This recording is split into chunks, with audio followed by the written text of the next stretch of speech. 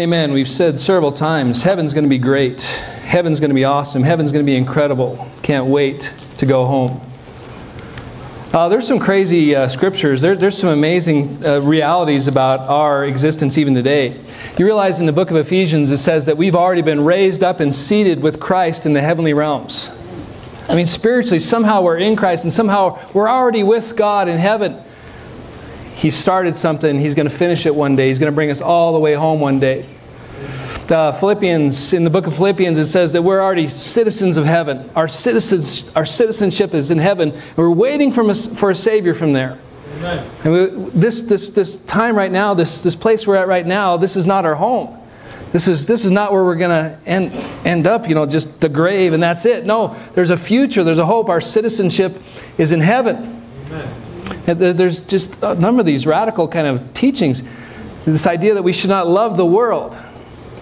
God did God has made us for something else. So we should love what's coming. Now, there's, there's some teaching in that I, I don't have the time to get into, but our home is waiting for us. Our home is coming. Our future is at hand. Uh, the last, as Luke said, the last several weeks we've been looking at what's heaven what's coming, what's it going to be like. Uh, two weeks ago, we looked at chapter 21, the first eight, eight verses. And we saw the, the big teaching there that we're going to dwell with God. God's going to dwell with us. But really, what we saw there so much uh, in that teaching was what's not going to be there. The first eight verses of Revelation 21. What's not going to be there? No more death, no more sickness, no more evil, no more pain, no more sorrow. It's like in one fell swoop, God's going to come and He's going to in one action wipe away all the tears. Everything is gonna, that we hate right now, everything that's broken right now, everything that's evil right now, everything that brings pain and suffering right now, it's all going to be gone in heaven. It, it's, it's, it's incredible to think about what's ahead. And then last week we looked at 21 verses 9 through uh, 27, a big chunk of scripture, and man, we started looking at the place of God, the city of God, the celestial city, the holy city, the New Jerusalem. It's, it's, it's amazing the dimensions, the building materials, the, the way that God put that place together, the sublime nature of the kingdom come in a place, the glory of that city, the, the place that we're going to be at forever, the, the city and all that that means and all that that connotes and all that understands communion with God. With God at the end. That's the best. With God. Today we, we come to uh, almost the end of the book. Almost, is Revelation ever going to end? First five verses in the book of Revelation today. It's amazing how much is here. What will we see? What will we, what will we experience? What, uh, what are the functions there? What, what, what, what's, what's happening in our home? As John sees the vision of heaven, as John sees the vision of what's coming, he wants us to know what's waiting for us so that we'll live in hope the coming of the King and live in hope of the coming of our life eternal. Revelation 22, please. Revelation 22, starting in verse 1. May God bless His word. May we be given a living hope in the coming of the King. Then the angel showed me the river of the waters of life, bright as crystal, flowing from the throne of God and of the Lamb through the middle of the street of the city. Also on either side of the river, the tree of life with 12 kinds of fruit, yielding its fruit each month. The leaves of the tree were for the healing of the nations. No longer will there be anything cursed. The throne of God, the Lamb will be in it, and his servants will worship him. They will see his face. His name will be on their foreheads. Night will be no more. They will need no light of lamp or sun. The Lord God will be their light, and they will reign forever and ever.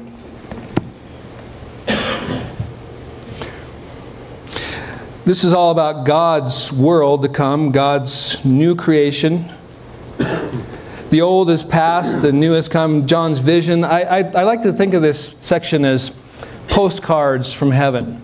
Now, I don't know, some people don't even know what postcards are anymore. There was a day that you'd travel somewhere to somewhere nice, like North Dakota, and you, you'd send a postcard saying, Yeah, I saw the Badlands. Somewhere nice, you went to the great sand dunes of the San Luis Valley and you sent a postcard, a little, little snapshot, a little picture. Maybe most people do it on their phone now. A selfie with the sand dunes in the background and a little note. We see there's all these postcards, all these snapshots, all these pictures, what has come. What, what will heaven be like? What will we find there? What will we experience there? What's in heaven? We start with this, uh, this scene of the throne. The angel showed me the river of the water of life, bright as crystal, flowing from the throne of God and of the Lamb. And then in verse 3, it says, The throne of God and the Lamb will be in it, in that city. The throne of God, we've seen that several times in our study, most uh, prominently in chapter 4, in chapter 5. You remember that great vision, that great scene, that postcard that John saw. He was taken to heaven and he saw this great and mighty throne. The one seated upon it was like jasper, the color jasper. And we've looked at that jasper rock before. A beautiful scene, but around the throne, the glassy sea, or some of your translations say the emerald sea. And around the throne, a rainbow. And so this glassy sea, rainbow, emerald hue all over, and the, the jasper, the redness, the, the, the, maybe the orange color, just the shining, radiant light around the throne, but this glorious throne, a place where God had his dominion, has his throne, his place of rule. Then in Revelation 20, we saw, we read about a great white throne symbolizing holiness and purity, a place of God's judgment, all the dead raised one day. I think, in my understanding of Revelation, a first resurrection and a second revelation, a resurrection, all standing before the throne in judgment. An awesome place, an incredible place. And uh, here we have the throne, God's throne, in that place where we will live forever as believers, as followers of Jesus Christ. We'll be before the throne of God. He'll be there with us. It's, it's rather remarkable to think about. The, all, all the maybe are right now, maybe some of you are fearful of that throne. Maybe some of you feel far from that throne, like you're not worthy to be in that place. But all the redeemed will live in the city of God with God and the Lamb on the throne. Now, we, we see in this passage uh, some of the understanding of God here, and this is maybe one, this is one of the passages where the first Christians started wrestling with the Trinity. It says here in verse 1 uh, the throne of God and of the Lamb. The throne of God and of the Lamb, they're both there. Now, it's kind of like this juxtaposition of two different beings, two different persons, but they're both there on the throne. How can they be distinct and yet one? And so the great mystery of the Trinity is present in Revelation in several places, but here, here it's, it's just boggles the mind that our God will be there on the throne and we'll be there with him forever in the eternal state. Uh, God's throne, God's the next uh, postcard, next snapshot, the river. It's not just any river, it's the river of God, the river of life and all your connotations, all your thinkings. I, I, love rivers. I love our rivers around here. I love our streams. All the different places I've gone and seen, all the beautiful streams, all the beautiful rivers we have. Nothing compared to the New Jerusalem River. I'm going to call it that. I'm going to name it that right now. New Jerusalem River. It says it's bright like crystal, like sparkling, just as the streets of gold, right? Transparent gold, whatever that is. The transparent walls the, the, the, the water's pure, unpolluted, crystal clear. We, uh, we, we start talking about these things of, of rivers and thrones and trees, and we start, what, what, what, what are we meant to understand here? What are we meant to see? Is it physical? Is it literal? And as I said la last week, yes. Physical, literal. Is it symbolic? Is it figurative? I said last week, yes. There's both. Uh, if you've read through the book of Ezekiel, you might remember at the end of Ezekiel, Ezekiel chapter 47, there's this river that Ezekiel saw in his vision from God flowing from the temple that he saw one day it would be built. It, it flowed as it, as it moved farther from the city, it got deeper and deeper. The water got deeper and deeper, and it flowed to the Araba, to the east, to the Dead Sea. And the salt sea, the salton sea there, it's turned fresh, and life comes to a Dead Sea. It's an incredible vision. All these fish everywhere, and all these fishermen fishing the Dead Sea. It's, a, it's an incredible vision of dead turning to life. And we have different pictures throughout the Bible of that. Uh, let me just show you some of the, the scenes talking about the river of God, the river of life. John chapter 4. John chapter 4, verse 10. Uh, Jesus is talking to the Samaritan woman, a woman that the Jewish people and the Samaritans were at odds, and she's wondering, Why are you talking to me? They start talking about water. She's there to get a, a bucket of water to take for her daily needs. And he says in verse 10 If you knew the gift of God and who it was that was saying to you, Give me a drink, you would ask him and he would have given you living water. this passage is kind of what our church is named after, one of the passages. Living water, not stagnant water, not standing still water, but moving water, the ripples of water moving. And he says, I'll give you this living water that could come into your life. The woman said to him, Sir, you have nothing to draw water with, and the well is deep. Where do you get your living water?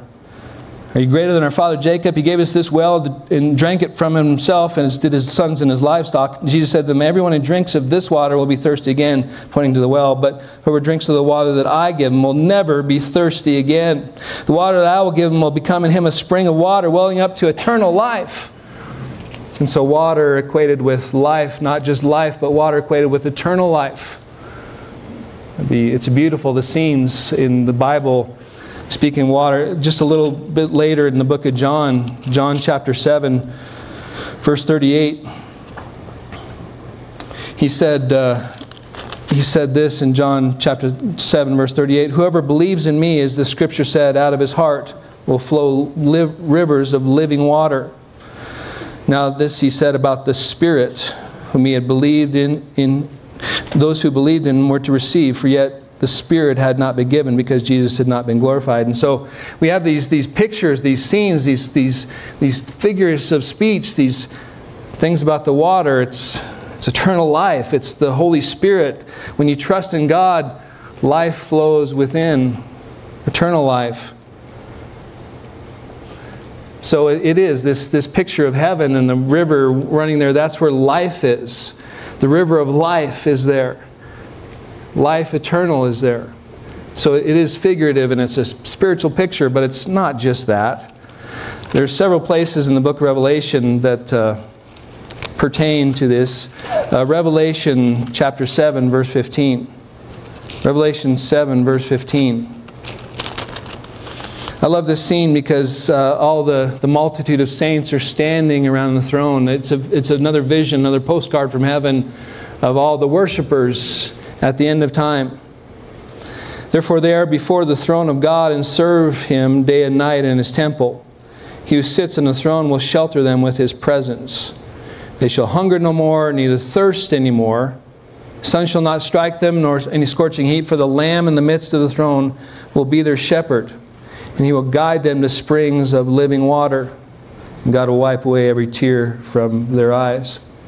It's like they, the, the saints are in heaven, the people are there, and, and this song, this, this, this poetry that's portrayed as the Lamb who's there, the King that's there, the one who's on the throne there, all the saints who one day when we finally meet up in heaven, resurrected, ascended, coming to the earth, coming to the New Jerusalem, the Lord Jesus will lead us to that river and we'll drink. It's, it's a beautiful picture. As in one fell swoop, God will wipe all the way, all the tears away when we go to heaven. No more mourning, no more weeping in heaven, no more tears in heaven, because they'll all be taken away. At the same time, we'll all drink of the waters of the river. It, it's beautiful and wondrous. But it's a physical place, a real place. You're going to be raised from the dead one day. Physical bodies, as Jesus was raised from the dead, given a glorified body not to dwell in the ether, not to dwell in the air somewhere, but to dwell in heaven, the physical place, the celestial city, the holy place, the holy place of God where God dwells. You're going to be with Him one day. It's going to be a glorious place. the throne and all of its glory, the river flowing from the throne into the city of God. Uh, we've already talked in previous sections about God's street. Can you imagine the picture of God's street, that, that street of gold? It says that the whole city was made of this transparent gold. The walls were made of jasper. Uh, all the adornment on the holy city, all the beauty of the city. Certainly, there's some symbolic uh, scene there. There's some, some figure of speech there to, to describe the city using human words to try to describe what's beyond our imagination, how glorious and sublime it's going to be, but uh, it's real too. And I, I think of God's, God's river, that, that crystal clear river next to that street of gold. It says, it says here um, in verse 2 through the, the, the river is going to flow bright as crystal in verse 1, flowing from the throne of God and of the Lamb. It's going to go to the middle of the street of the city. And so they're going to be side by side in some capacity. Maybe the thoroughfare is going to be the street and, and the rivers on the side of it. You, you can read it as the river going right down the middle of the street. But they're both going to be beautiful, intensely and insanely beautiful. And glorious will our home be, the street of God. It's all, it's all about God's place. It's all about what He's doing here. Notice here it also says that there's God's tree. Imagine the most beautiful tree that you could ever imagine. Maybe you've seen some beautiful trees. I'm not sure there's too many beautiful trees in the San Luis Valley. There's a few, though. I've seen a few. Most of them are gnarly and wind blowing and baked in the sun. But one day that tree of life will be in the New Jerusalem in our home. How, how wonderful it's going to be for us to see an eternal tree. Now, notice the complexity of this. Notice the intricacy of this. We, we know we, we've seen great aspen groves in Colorado. Maybe you've traveled to other places, you've seen great oak groves. But the aspen groves, all the clones of the trees, all the roots interrelated, uh, we see in this city this massive tree that becomes trees in some capacity. They're on the side of the, of the river. And so we imagine just this beautiful garden like scene in the city of God.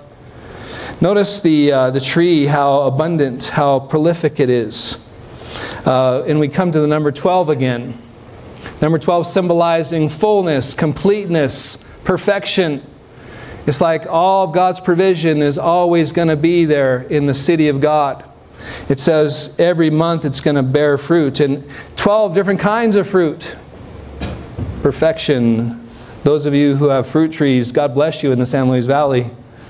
It's difficult and hard, but in the city of God, that tree can be glorious. And, and the, the great symbolism there, but also the great, again, the provision of God.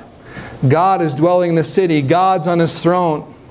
God's life giving river is there. God's tree of life, the, the river of life, the tree of life. We're meant to hear it again and again. This is a place of life abundant life, your home. And as we talked about the last few weeks, all the things that won't be there to get in the way. All the evil all gone, all the sorrow all gone, all the wickedness all gone, all the pain and suffering in these bodies all gone, all the distorted governments, all the wicked rulers of the world all gone. And we have this place of great beauty. And maybe you're asking yourself, we're, we've been talking about, you know, the, this God the creator, God the maker. He's going to make this city, and it's going to be this living city, this city that's wondrous and, and beautiful in all of its materials and all of its construction and all of its um, ar arrangements. The perfect cube that we talked about the last few weeks. The Holy of Holies is the city of God the Holy of Holies moving through the, the Old Testament the New Testament with the tabernacle and the temple, and then finally it's going to be that place where God is, where we will be one day. But it's, it's a living place with, with river, and, and I, I take rather literally the Old Testament when it talks about the, the rivers being full of fish and the, the, the, the places that God makes, the new earth that He's going to make full, full of life. But the trees and the abundant, you know, picking fruit for God, can you imagine how great that's going to be? uh, but does it bring something to mind to you? Does it, does it, does it echo somewhere in your, your background of what you read before? It should.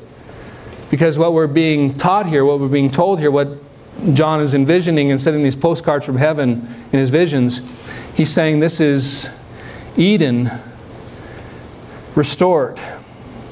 This is Eden reimagined. This is Eden brought back, a final Eden. And just the, the depth of it from the beginning of the book to the end of the book, it, it's mind blowing. The plan of God. God's breaking everything new. God's bringing everything back. He's redeeming the whole earth. Right now, the earth, it says in Romans 8, is in bondage to decay.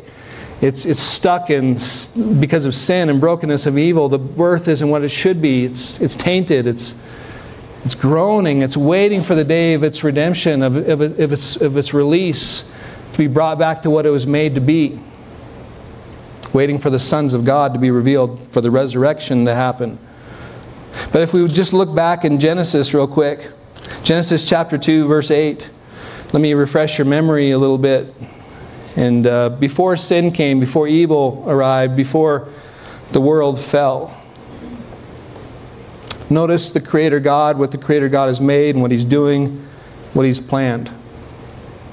Chapter 2, verse 8 of Genesis. The Lord God planted a garden in Eden in the east. And there he put a man in the east. From Israel's point of view, is, is Moses is writing later on from Israel, the gardens in the east. Probably you want to think about modern day Iraq in that general arena, that general area. There he put a man whom, the, the man he had formed, he put him, and out of the ground the Lord God made him to spring up every tree that is pleasant to the sight and good for food. The tree of life was in the midst of the garden, the tree of knowledge of good and evil. Remember the whole drama that came about for the tree of the knowledge of good and evil, that apple or that peach or whatever that fruit was that Eve ate and that Adam ate came from the tree of knowledge of good and evil. God told them not to eat from it, but they did and they died, spiritually died. But the tree of life was there too.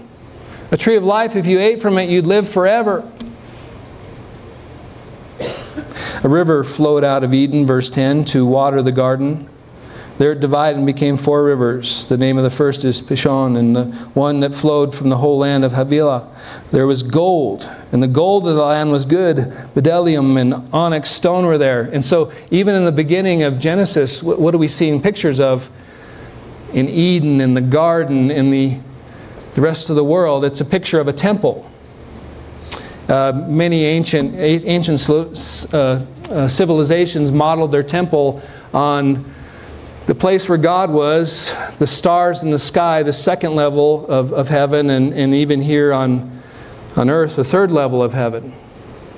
In, in Genesis, there's this, this beautiful picture of the other way around is God's in his holy place the highest heaven. God dwells in the second heaven, so to speak, the, the sky and the stars, and God even dwells in the atmosphere, in the air we breathe. He's right here, right now.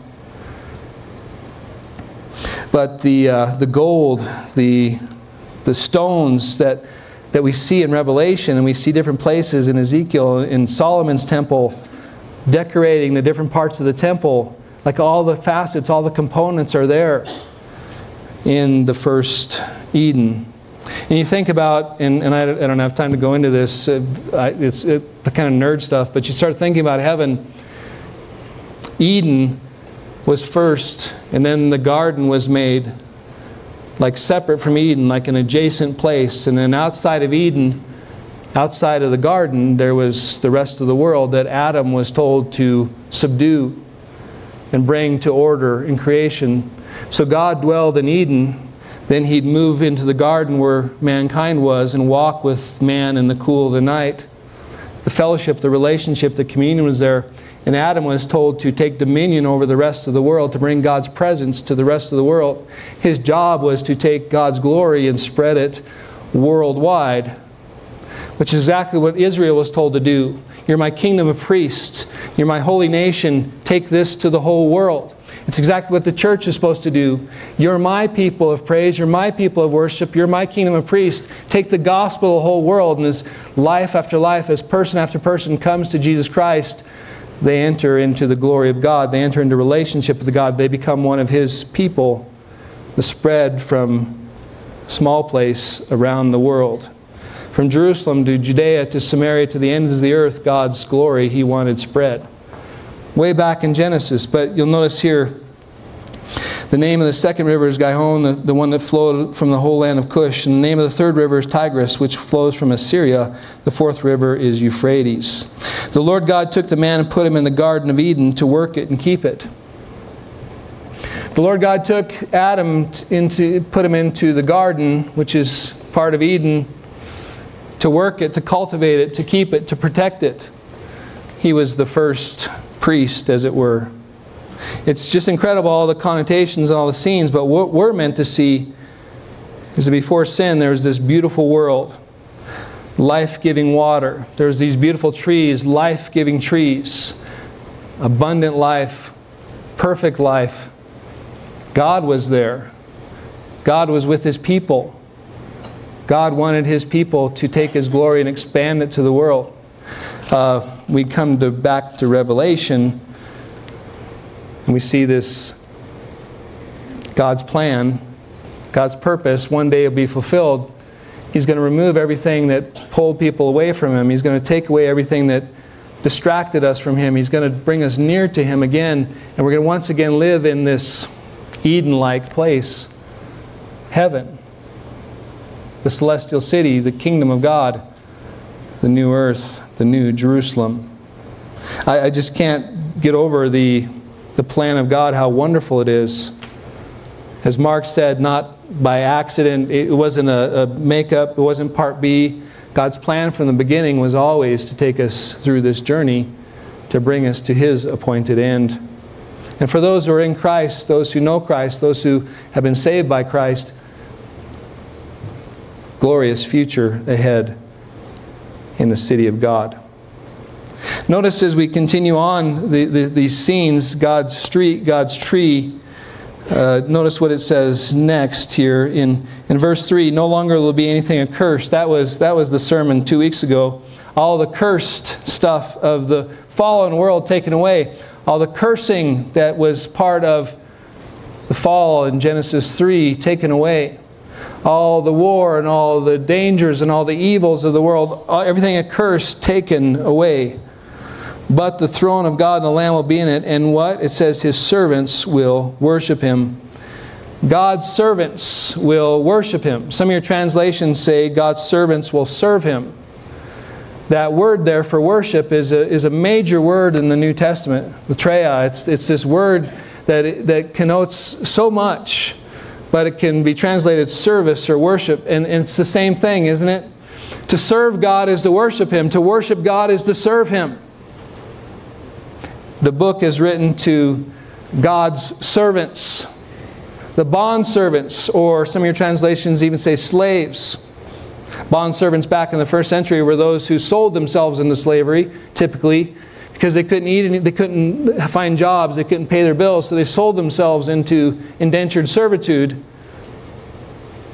Uh, we are described like that. Jesus Christ has bought us with his blood. He's made us his servants. The book is written to us. It says in heaven, his servants will serve him. I long for that day. I long for that day when my worship will be pure. I long for that day when my service will be pure, when I do it right, when I do it all the time. I, sometimes I get caught up of wanting to love God so well and, and do Him so right, to, to treat Him as He deserves, to serve Him as He deserves, but oftentimes I get distracted or oftentimes my selfishness gets in the way I, I uh, maybe it's spiritual warfare. Maybe it's, it's uh, the world around me calling me to live for the things of the world. Maybe it's just me wanting to make much for myself. There's uh, some of you really resonate with uh, Romans chapter 7. Look at that with me, please. Romans 7, verse 15 you, uh, you too want to serve God, you want to worship Him, and, and sometimes you feel like you're an utter failure. And there's this teaching here by Paul it, that really kind of gets at the, the description of, of our struggle. For I do not understand my own actions, chapter 7, verse 15. For I do not what I, I do not do what I want, but I do the very thing I hate. Now if I do what I what I do not want, I agree with the law that is good. So now it is no longer I who do it, but sin that dwells within me. I take that personally to speak of non-Christians, but uh, for me, it, there's times I certainly resonate with me with, with it. I, I long to worship Jesus. I long to worship God. I long to live for Him, but sometimes I fall far, far short. But there will be a day, as the song said, when we will worship our God. We will serve our God. We will love our God with all that we are, without flaw, without error, without mistake, without selfishness, without evil. How awesome it will be. Uh, one of the great things about this promise, God's servants, this postcard, maybe John's taken a snapshot of the servants serving God. It kind of dispels this idea that heaven's going to be boring. It kind of gets rid of this idea that heaven, this, this place we're going to live forever, is just going to be this endless tedium. Maybe, maybe those of you who hate to sing uh, songs, maybe it's an endless worship service, sing songs forever. No, I, am looking forward to singing in heaven. I'm looking forward to all the hundreds of different ways you can worship God in heaven. Um, but the idea that uh, we're going to be bored, no, because we're going to be serving. And if you're taking notes, you can write down Luke chapter 19. Luke chapter 19, verses 11 through 27. Remember the story of the minas? And uh, then you can write down Luke chapter 25, or, or Matthew chapter 25 verses 14 through 30. The, remember the story of the talents and how at the end of time, when the master comes back, those who had done well with what they were given, they were given more responsibility in the kingdom of God. His servants will serve him. I, I can't wait to serve the Lord one day, and we're going to be serving God for eternity, worshiping him for what he's done. And it'll be easy in that place because we're going to see Him and how great He is. We're going to realize we're in heaven. We're going to see all the, all the works He's accomplished and our response in that perfect place with our glorified bodies, with our renewed minds. We'll be able to worship rightly and uh, forever. Heaven's going to be great. We get to serve our God. But uh, it moves on a little farther in, in, in Revelation that we got God's throne, God's tree, God's river, God's street, God's servants. Uh, there's just so much here. Then it says in verse 4 they will see his face. Man, this, this is incredibly deep and incredibly wonderful, but uh, you realize when you read something like this through the, through the lens of the Old Testament, some of the psalmists long for this to see God some of the people long to see God, to know God in, in, a, in, a, special way, but it was always somewhat distant. And even today, we long to see God. But the, the word see there, it's, it's more than just a physical, like face to face. It comes more along the lines of knowing Him and understanding Him and grasping Him. Uh, if you look back at, again, I just can't help myself to show you some of the scenes, some of the snapshots from the Old Testament. Uh, Exodus 28. Exodus 28. Um, I'm, I'm, sorry, 33. Exodus 33, verse, verse, verse 18. Exodus 33, verse 18. Uh, God is. Uh, it's after the golden calf incident, and, and God threatens he's, he's not going to go with the people anymore. And, and Moses says, No, you better go with me. If you don't go with me, I'm not going. And then Moses says, Show me your glory. Um, in verse 18, Moses said, Please show me your glory. And he said, I'll make all my goodness pass before you, and will proclaim before you my name, the Lord. And I'll be gracious to whom I'll be gracious, and I'll show mercy to whom I will show mercy. But you cannot see my face, for the man who sees me, uh, for man shall not see me and live, in verse 20. Man shall not see God and live. You can't see all of God's glory. You would melt, you'd instantly vaporize. You'd be destroyed immediately in your unholiness in and of yourself and of myself. But then we, we go to the New Testament, and what happens there, Jesus comes and and he brings God's glory near. uh, ch- John chapter 1, verse 18. John chapter 1, verse 18. No one has ever seen God, says the Apostle John. No one has ever seen the only God who is at the Father's side, but the one, the only God who is at the Father's side, he has made him known. Jesus has made him known. He's, he's revealed. We, we, no one's ever seen God face to face in this age, in this time. No one's ever grasped him totally, but Jesus has shown us the Father. He's shown us the Almighty. He's revealed who He is. Um, there's, there's some beautiful scenes in this, this matter.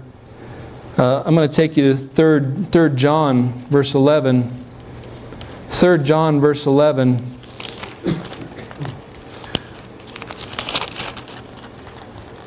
Beloved, do not imitate evil, but imitate good. Whoever does good is from God. Whoever does evil has not seen God. There's this understanding through the scriptures that to, if you really claim to know God, you'll live a godly life eventually by the grace of God, by the power of God. But the claim here that, that, the, that the elder writes, he writes to him and he says, uh, people that claim to see God and they're living an evil life, they don't know God. And so this scene, this picture, and it's many times in the Psalms too, to see God is to be satisfied. To see God is to know Him. To see God is to be close to Him and near to Him and, and love Him and realize Him. And then the response will be worship. Uh, one day we will see God physically, literally. But one day we will know God completely and we will be satisfied by God. We'll grasp Him, we'll understand Him, we'll know Him fully. So, God's face we will see uh, in Revelation 22. Another snapshot is God's light. It says, Night will be no more. Verse 5 They will need no light of lamp or sun for the Lord God will be their light. In the city of God, the place where we're going, our heaven, God's glory will be there fully. We'll be capable of receiving it in our resurrected, glorified bodies. We'll be able to walk in it and live by it, always in the presence of the glory of God. That's what we'll see, that's what we'll experience, that's what we'll know. It'll become the new normal for us forever. Perfection beauty, awe, wonder. And then the last one, they will reign forever, reign forever and ever. This is God's world, and His saints will reign. And you say, what? Reign? That, that sounds like a ruler, like governance, like dominion. And again, it takes us back to the Old Testament takes us back to the original plan of God. God's planning something great for your eternity. God's planning heaven for your eternity. It looks a lot like what he started with. Genesis chapter 1, verse 26. Then God said, Let us make man in our image, after our likeness, and let them have dominion over the fish of the sea, and over the birds of the heavens, over the livestock and over all the earth and over every creeping thing that creeps on the earth. So God, God created man in his own image. In the image of God, he created him. Male and female, he created them. And God blessed them, and God said to them, Be fruitful and multiply, and fill the earth and subdue it. Have dominion over the fish of the sea and the birds of the heavens, and over every living thing that moves along the earth. God's made us originally to be his vice regents, his vice rulers. He's charged us with the authority to take care of his creation, to expand the boundaries of his creation. He's made us to be his people, to serve him. Uh, Hebrews kind of sums up this little, this little verse. Hebrews chapter 2, verse 6. Hebrews chapter 2, verse 6. It has been testified somewhere what is man that you're mindful of him, or the Son of Man that you care for him? You made him a little, uh, for a little while lower than the angels. You have crowned him with glory and honor, putting everything in subjection under his feet. that psalm in the, in the original the original psalm, the idea was that God made people in his image to rule his earth. One day, God's world will be once again placed in the hands of his people whom he's redeemed, and they will serve him. They will seek to glorify him by taking care of all, stewarding everything that he's made to his glory. Now, we won't rule over peoples because there's no more nations there anymore that are lost or unredeemed. All the nations have come into the kingdom. All the, all the people that have been saved, they come into the kingdom. They're bringing in their worship. They're bringing their glory. So all the peoples of the world will be placed in a position to serve God. And I don't know what your role is going to be. I don't know what my role is going to be. But if we serve faithfully here with what God's entrusted to us, one day we'll be given more responsibility in heaven in the place of glory start running down this list and we can imagine more. God's throne, God's river, God's street, God's tree, God's people serve Him, God's face, we're going to see it. God's lights, God's, God's kingdom come, God's world that we are going to be placed to serve in. Heaven is going to be incredible. Heaven is going to be wonderful. Heaven's going to be a place of purpose and meaning, a place of satisfaction, a place of worship and God will be there. We'll be with our God forever. So at the end of Revelation, we've seen this picture of the Holy of Holies coming. God's temple is coming upon the earth. There's no need for a temple because He's there. And here at this end part, we've seen a new Jerusalem is coming, but more than that, a new Eden is coming. What God originally planned for you will be perfectly fulfilled one day in His kingdom rejoice and worship and praise God. Beyond that, in your world today, in your life today, in your sufferings and trials today, put your hope not in governors or governments, not in the, your bank account, not in your property, not in your health. Put your hope in heaven. Put your hope in the God who is coming for you. Put your hope in your future. Live for that citizens of heaven, because it's going to be all that God has made you to be. Praise be to the Lord. Worship team, would you please come? Lord God Almighty, we, we thank you and we praise you for giving us the grace, um, giving us this word, giving us this message, giving us this revelation, telling us what's ahead. Lord, may it spur us on to, uh, to live for you. May it spur us on to live in righteousness. May it spur us on to follow you and keep the faith, knowing that the best is yet to come, knowing that we're not home yet. But thank you for the inheritance you've, you've pictured for us. Thank you for telling us what's coming so we can live in anticipation. Give us the grace to do so, to look to that city that's ours and to get excited about it and to live for it.